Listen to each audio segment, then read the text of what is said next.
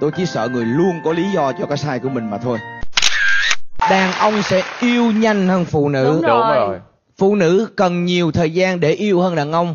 Nhưng khi phụ nữ yêu rồi thì phụ nữ yêu dai hơn Dạ. đàn ông.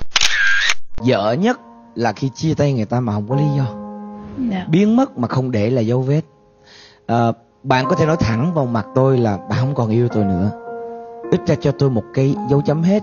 Tôi bớt hy vọng lại. Dạ. Anh luôn cho là vậy dù là lý do gì đi nữa nói dối cũng được. Nhưng có một cái lý do người ta sẽ dễ ngưng yêu mình hơn. Dạ. thay vì người ta phải chờ đợi. Chán nó có hai trường hợp. Một là khi chúng ta ráp không đúng cái khuôn của nhau. Một cái người mà dễ chán ráp với một cái người mà không có cái gì để xảy ra chắc chắn sẽ chán ha. Nhưng mà nếu như hai cái người không cần nhiều điều xảy ra họ sẽ không chán nhau. Cái thứ hai là hai cái con người bình thường nhưng không chịu vận động nữa trong mối tình, tự nhiên nó sẽ chán. Như vậy là do mình ráp với ai mà thôi.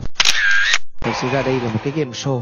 Chúng ta có thể đến với nhau hoặc không đến với nhau sau chương trình. Nhưng mà nãy giờ tham gia tôi thấy cái cô này nè, là một cái cô gái rất là xinh đẹp nhé hơn ai hết, bạn thấy cổ cổ cực kỳ mong manh và cô bị tổn thương nhiều rồi.